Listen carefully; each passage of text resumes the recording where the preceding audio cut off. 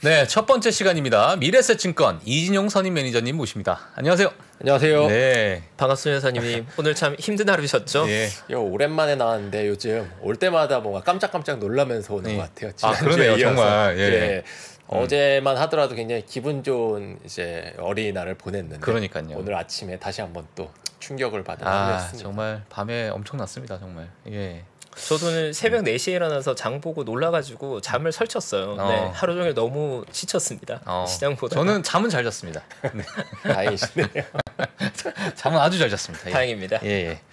자, 오늘 저희 미국 증시부터 예, 먼저 시황 좀 부탁드리겠습니다. 예, 3대 지수 모두 큰 폭의 하락을 기록했습니다. 다우 지수가 3.12% 하락한 32,997포인트, 음. S&P가 3.56% 하락한 4,146포인트, 네. 나스닥이 4.99% 하락한 12,317포인트로 마감을 했는데요. 예. 그 전날 파월 의장의 발언에 힘입어서 강하게 반등이 나왔던 시장이 하루 만에 다시 힘없이 무너졌습니다. 하, 그러니까요. 이게 참 아이러니한 게 이제 금리 인상 발표를 하고 시장이 엄청나게 상승했는데 그닥 뭐 뉴스가 없이 그 다음 날 하락을 했단 말이에요. 그게 참 뭐 해석을 잘못했다. 뭐 이런 뉴스도 나오고. 사실은 네. 파월 의장이 75bp에 대해서는 강하게 부정을 했어요. 음. 처음부터 테이블에 올려놓은 적이 없다. 그러니까 예전 같으면 이제 뭐 고려를 조금은 하고 있다. 뭐 이런 식으로 굉장히 조심스럽게 얘기를 하는 스타일인데 음. 아예 고려하고 있지 않다. 강하게 얘기를 했거든요. 네. 그럼에도 불구하고 시장에서는 여전히 일단 75bp에 대해서 의구심을 갖고 있는 상황이고요. 네. 그 아까 말씀하신 것처럼 영란은행에서 25bp 금리 인상을 하면서 상당히 인플레이션 관련해서 암울한 전망이 나왔습니다. 우리가 모두들 이제 기대를 하는 것은 상반기에 피크아웃을 하고 하반기에는 인플레가 안정화되면서 주가도 마찬가지로 지금이 저점을 형성하고 하반기에 좋아질 것이라는 믿음을 갖고 있었는데 어떤 희망을 갖고 있었죠. 그런데 영란은행에서는 상반기에 CPI 소비자 지수가 9% 그리고 하반기까지 10%를 찍고 그 다음에 천천히 하락을 할 것이다. 그러니까 피크아웃 포인트를 상반기 아니, 아니라 하반기에다가 초점을 맞추면서 우리 시장에서 너무 안이하게 본 게 아니냐 어. 이런 약간의 이제 어, 두려움이 나오는 상황이고요. 네네. 그 페드 와치에서 6월달 75bp 확률을 분석을 한게 네. FOMC 전에는 이제 95% 예상을 했고요. 파월 의장 발언을 직후에는 74%까지 하락을 했습니다. 그런데 어제 장 종료하면서 다시 82%로 올라왔어요. 그러니까 음. 아 여전히 시장에서는 75bp 가능성이 큰 게 아니냐.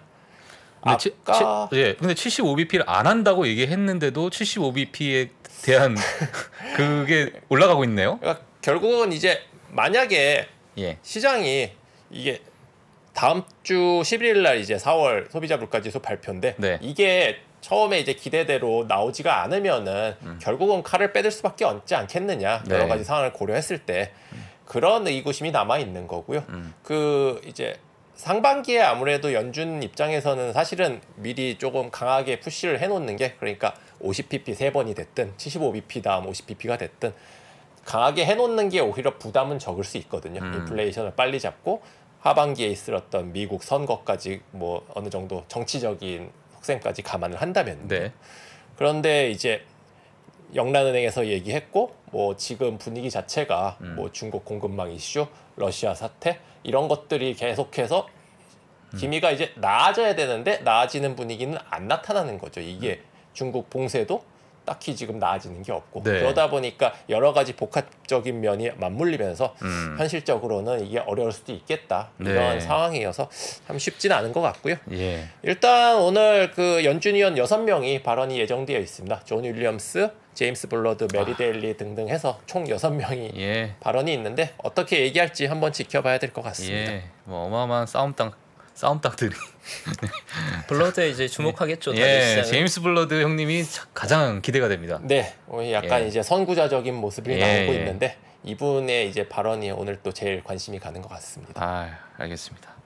일단 뭐 실적 발표 한번 정리를 해주시면 좋을 것 같습니다. 다음 주에 예. 뭐 관심 있는 종목으로는 화요일 날 워렌 버핏이 투자한 옥시덴탈 네. 그리고 여기 개인 투자자분들이 많이 갖고 있는 유니티와 로블록스가 예정돼 있고요. 네, 네. 수요일에 월트 디즈니와 리비안 모터스, 음. 목요일에는 에어비앤비가 예정이 되어 있습니다. 네. 다음 주에 중요한 이벤트는 실적 외에도 이제 크게 두 가지인데 방금 전에 말씀드렸던 그 4월 소비자 물가 지수 이 부분이 과연 어떻게 나오냐가 시장의 향방을 조금 판가름할 수 있을 것 같은데 네. 만약에 피크아웃 조짐이 보이면은 어느 정도 반등이 예상이 되지만은 만약에 높은 수치가 계속 유지된다 그러면 변동성이 당분간 더 확대될 수 있고요. 음. 또 하나는 9일이 러시아 이제 전승 기념일인데 이거는 아. 이제 정치적으로 상당히 중요한 이벤트인 게 예. 러시아에서는 이제 확전에 대해서 음. 뭐 그런 거 없다라고 일축은 하고 있지만은 얘네는 예전에도 우크라이나 자기들은 침공할 예정이 전혀 없다라고 얘기를 했었거든요. 네. 그러니까 뭐 고지고대로 말을 들을 수는 없는 거고 음. 뭐 아시는 분들은 아시겠지만 러시아는 공식적으로는 전쟁을 중이 아닙니다. 군사 작전 중이에요. 그러니까 미션입니다. 아. 이게 조금 틀린 게 예. 공식적으로 전면전을 선포하고 예. 국가 총동원령을 내릴 수 있거든요. 일종의 계엄령인데 예. 그런 모든 국가적 자원이 군대로 동원이 되는 거예요. 어. 그럼 당연히 일반 이제 시민들 같은 경우는 뭐 예. 식량이라든지 이런 것까지 어떤 배급지라든지 상당히 제한이 될 수 있는 거고요. 근데 지금 그런 상황까지는 아니에요. 러시아는. 어. 사실은 간단한 이제 몇 개 사단만으로도 제압을 할 수 있을 것이라 생각한 우크라이나가 생각보다 제압이 안 되니까 네. 이제 푸틴이 어떻게 어. 행동이 나설지 예. 예측은 안 되는데 서방 쪽에서는 전면전 선포 가능성도 있다. 음. 시장에서 제일 좋은 시나리오는 그냥 승전 선언하고 우리들의 승리다라고 하고 적당히 휴전을 하고 끝나는 게 사실 시장에선 가장 바라는 거죠. 음. 그런데 이제 뭐 이제 독재 국가다 보니까 어떻게 나올지 사실 예측이 어렵습니다. 그 지금 뭐 글로벌 경제에서 가장 어, 안 좋은 예, 두 가지 키워드가 전쟁하고 봉쇄잖아요, 지금. 두 가지가 다 맞물려 있죠. 예, 그러니까요. 근데 그게 이제 잘 해결될 기미가 안 보이니까 맞습니다. 예, 지금 또 시장이 또 안 좋은 그런 게 아닌가. 아유, 그런 생각이 좀 드는데. 악재가 정말 많은 시장입니다. 너무 많아요. 네, 악재가 정말 그게. 풀릴 기미가 안 보이니까 하나라도. 예. 저도 이제 한 15년 가까이 필드에서 이제 영업을 근무를 하고 있는데. 그 이 정도로 이제 계속 뭐가 나오는 시장은 참 드물었던 것 같아요. 어. 그러니까 예를 들어서 한 가지 큰 악재, 서브프라임 모기지 사태라든지 예. 코로나 이슈라든지 단기간의 임팩트는 있었는데 이거는 전쟁이 나오고 인플레이션이 나오고 봉쇄가 나오고 코로나 뒤 다시 또 코로나 나오고 그러니까요. 예 정말 예, 투자자분들 입장에서는 쉽지는 않은 시장인 것 같습니다. 아, 어렵습니다. 네. 자, 오늘 뭐 저희 아마존이 또 추가 하락을 했습니다. 예, 예, 뭐 또 이슈가 있, 있었나요, 또? 사실은 뭐큰 이슈는 없었고요. 네. 마스터카드에서 4월 보고서에서 이제 전자상거래 업체들의 이제 실적을 봤더니 네. 조금 매출 감소가 일어났다. 전년 대비 1.8% 하락이니까 큰 감소는 아니었어요. 음. 그런데 이제 지금 시장 분위기 자체가 네. 조금이라도 실적에서 어긋나는 모습이 보이면은 여지없이 주가 하락이 크게 나타나고 예. 아까 말씀하신 것처럼 관련 업체 쇼피파이라든지 이베이가 두 자릿수 대 이상의 큰 폭의 하락을 기록했는데 네. 어 아무래도 이런 거는 있죠. 아마존은 소위 말하는 이제 빅테크 종목, 팡을 비롯한 빅테크 종목에서 제일 밸류에이션은 높은 업체입니다. 네. 당연히 이제 밸류에이션이 높다 보니까 어떤 변동성 자체는 클 수밖에 없는 거고요. 네. 예, 아무래도 매년 급등한 성장률이 굉장히 급격하게 올랐던 업체다 보니까 음. 이게 조금만 이제 성장률의 둔화 모습이 나도 지금 같은 시장에는 이제 크게 하락이 이제 나오는 것 같습니다. 만약에 이런 전자상거래 업체들이 지금 많은 큰 폭의 하락을 하고 있는데 이거를 어떤 바이더 딥으로 보십니까 혹시? 아니면 앞으로 전자상 거래는 조금 힘들 것 같다 이렇게 보시나요?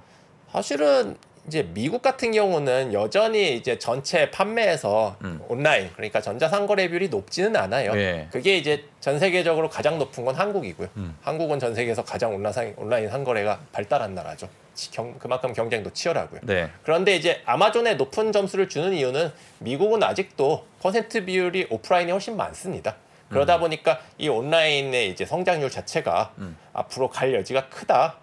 그러니까 앞으로 한참 더 성장의 여지가 있다고 보기 때문에 높은 점수를 주는 거거든요. 이 회사에. 음, 네. 그러다 보면은 아직까지 이 회사가 고점을 찍었다 그렇게 판단하기는 저는 좀 이르다고 생각은 되고요. 음. 오히려 이제 이러한 이제 어떤 시간 조정을 음. 거치다 보면은 다시 한번 반등의 계기를 줄 것이라고 저는 생각은 하는데 네네. 다만 이제 아마존은 다른 빅테크 업체랑 달리 음. 아무래도 인플레이션이라든지 물가 상승에 조금 더 민감할 수밖에 없는 업체이거든요. 네. 그러니까 그런 거에 대해서는 시간은 조금 더 걸릴 수 있다. 조금 더 여유 있게 보는 게 맞지 않을까 그렇게 음. 생각을 합니다. 네, 시간이 좀 걸린다. 알겠습니다. 테슬라는 또 어떻게 나왔나요 오늘? 테슬라도 어제 8%가 넘게 하락을 했는데 예. 테슬라는 연일 최근에 이제 급등과 급락을 거듭을 하고 있죠. 연방거래위원회에서 그 트위터 관련해서 반독점 검토를 하겠다. 소식이 나오긴 했지만 이것이 8% 이상의 하락을 끌어낼 만한 요인은 아닌 것 같아요. 네. 단지 이제 최근의 시장 상황에서 어떤 나스닥의 대장주 역할을 하는 테슬라가 어떤 지표로서 주가가 좀 많이 하락을 한 게 아닌가라고 생각을 하고요. 네. 그 트위터 관련해서 인수 관련해서 이제 오늘 뉴스가 나온 게 있는데 인수 자금 중에서 71억 달러를 유치했다 뉴스가 나왔습니다. 음. 그 지금 자기 자본 210억 달러가 필요하다고 알려져 있는데 네. 71억 달러 우리 돈으로 약 9조 원 정도니까 음, 음. 3분의 1, 3분의 네, 35% 정도를 확보를 예. 한 건데요. 어 대표적으로 사우디 왕자인 알 왈리드가 가장 많은 이제 19억 달러 음. 그리고 오라클 창업주인 레리 앨리슨 회- 전 회장이 이제 10억 달러 음. 가상화폐 업체인 바이낸스에서도 5억 달러의 투자 유치를 발표를 했는데 그 참고로 래리 엘리슨 회장은 그 일론 머스크 회장하고 굉장히 막역한 절친으로 알려져 있습니다. 음. 그 혹시 아실려는지 모르겠는데 이 래리 엘리슨 회장하고 일론 머스크가 영화에 출연한 적이 있는데 혹시 어느 영화인지 아시나요? 영화요? 아마 보셨을 텐데 이 영화를 야, 영화. 까메오로 출연을 했습니다. 뭐지? 처음 들어봤네요. 저도. 아이언맨에 출연을 했는데요. 아이언맨이요? 예, 아이언맨 2인데 정확히는 아이언맨에 지금 래리 앨리슨과 일론 머스크가 나왔다고요? 네, 그 아이언맨 주인공 이제 토니 스타크가 예. 이 이사를 이 일론 머스크와 인사를 하는 장면이 나옵니다.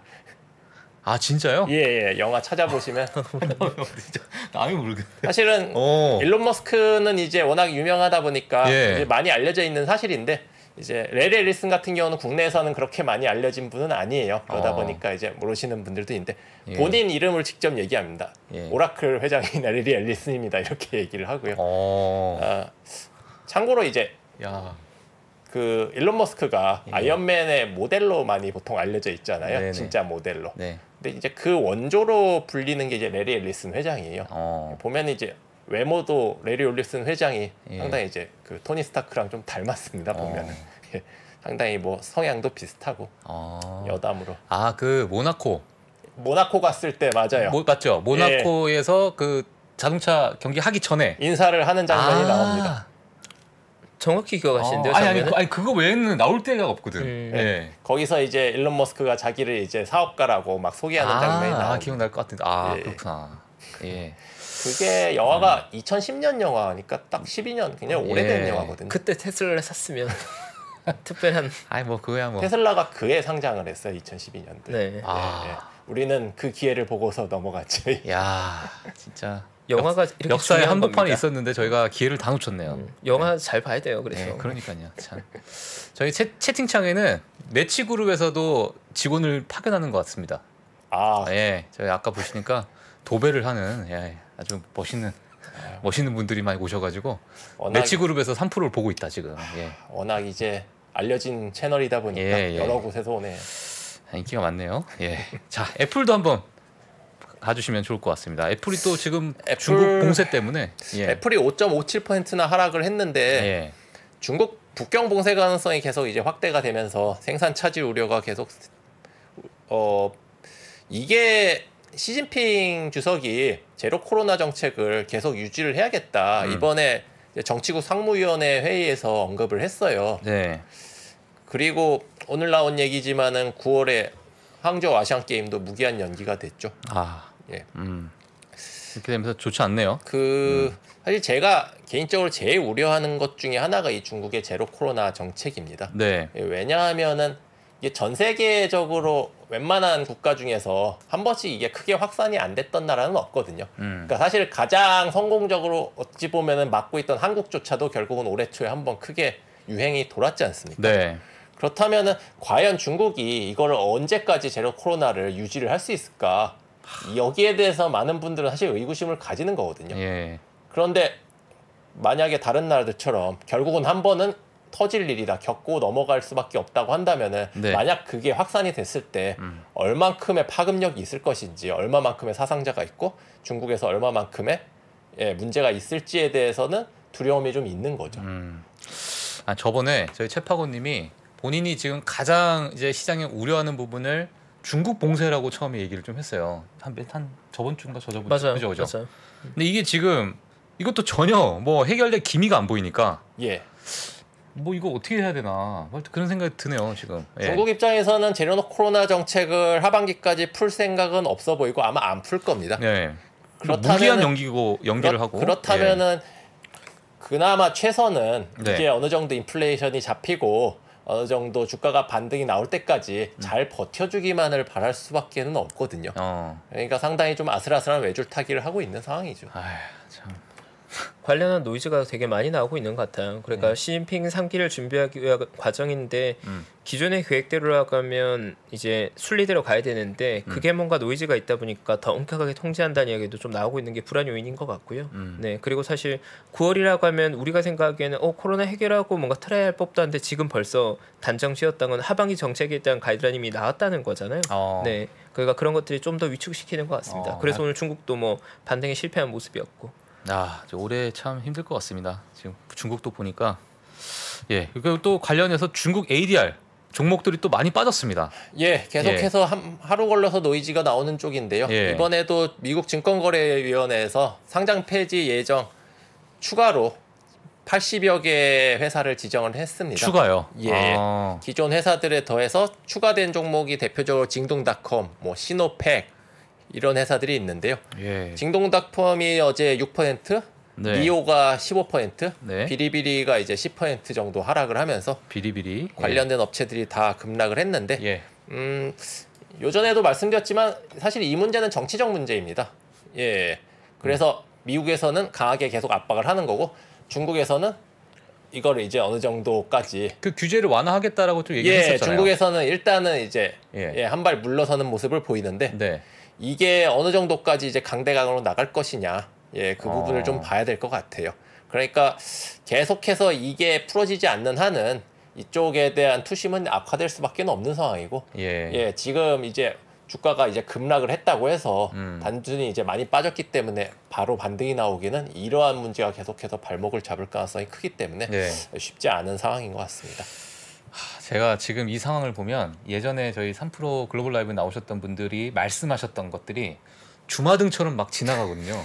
근데 그때 제가 또 생각난 게 뭐냐면 어 찐닝님이 나오셔서 이 중국 ADR이 좀 유호 총리가 좀 좋게 얘기했다 규제 규제 완화하는 그 스탠스로 좀 얘기를 했다 이렇게 얘기했는데 그때 아직은 좀 지켜봐야 된다 이렇게 얘기하셨어요. 그리고 ADR 예. 기업들에 대해서 미국이 계속 태클을 걸 거라는 것도 그때 얘기했었잖아요. 예. 네, 결국 그게 지금 다시 네, 계속 노이즈가 되고 있네요. 야, 참. 저희 3프로 TV 예, 자주 보시면 네, 이렇게 주마등처럼 또 지나갑니다. 예, 알겠습니다. 호재들이 자꾸 맞아야 되는 악재들이 자꾸 그러니까. 맞아서 슬프네요. 그러니까요. 네, 참. 힘든 장입니다. 알겠습니다. 자, 워런 버핏의 또 또 화제 화제 기업이죠. 옥시덴탈. 그 계속 좀 암울한 얘기를 해서 네. 조금 희망적인 얘기도 좀 말씀을 드려야 될 것 같아요. 네네.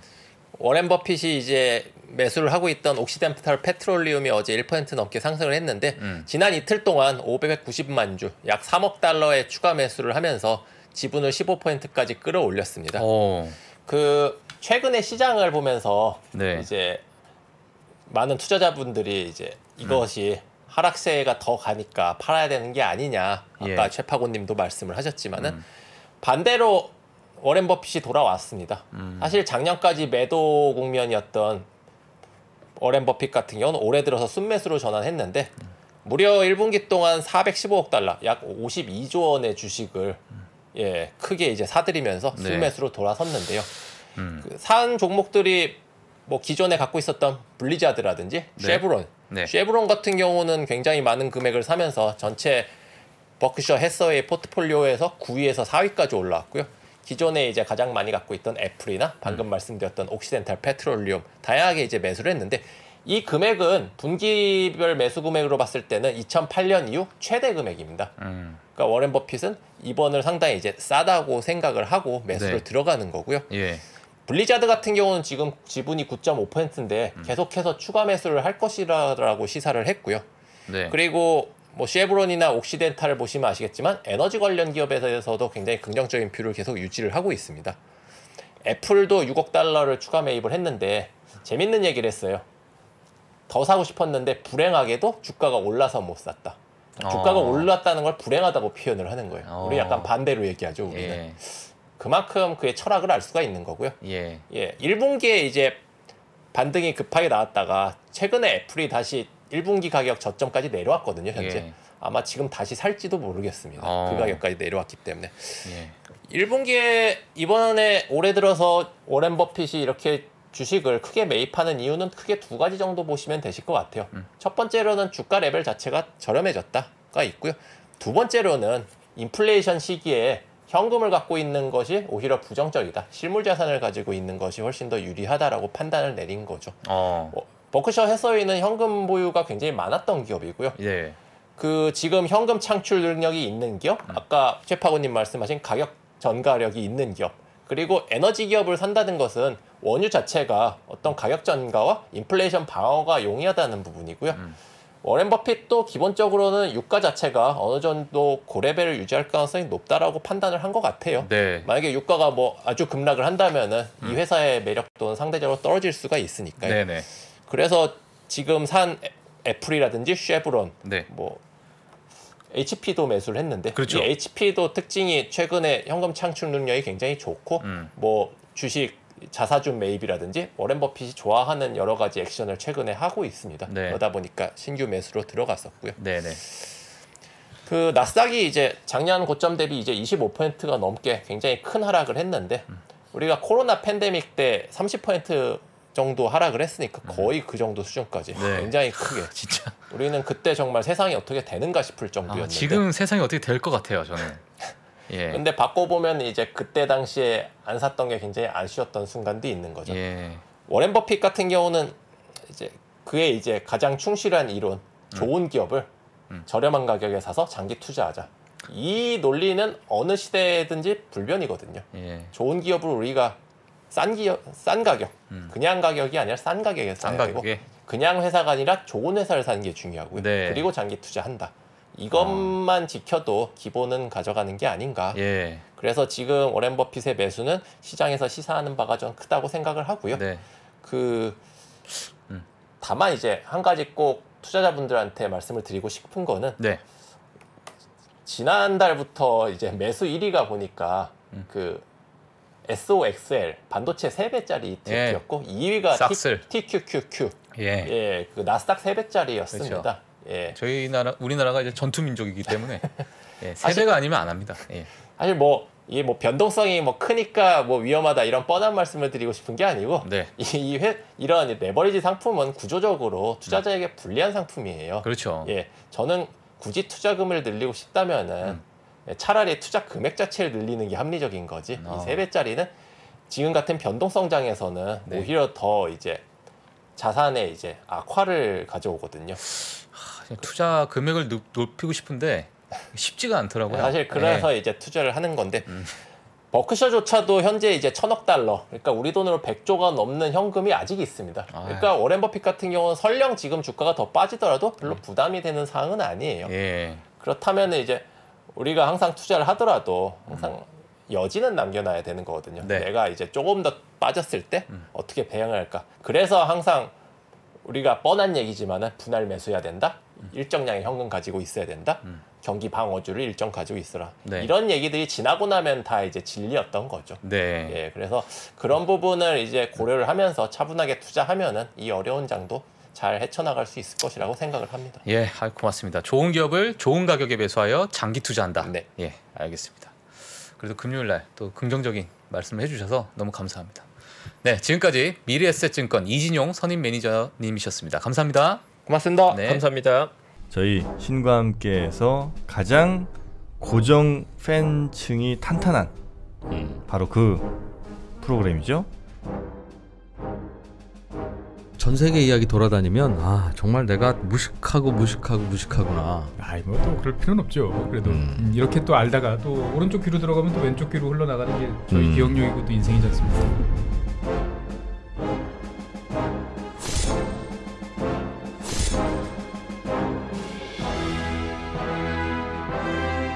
이 저자는 이제 핵심이 뭐냐라고 네. 하면은 인적 자본 즉 노동자 사람이 똑똑해야. 사람이 똑똑해야 된다. 자기가 쭉 여러 나라를 연구해 보니까 중진국 덫에 걸리는 나라들을 하고 그렇지 않은 나라들하고는 그런 면에서 좀 차이가 있더라. 음. 지나고 생각을 해보면 사회적 수준이 높아져야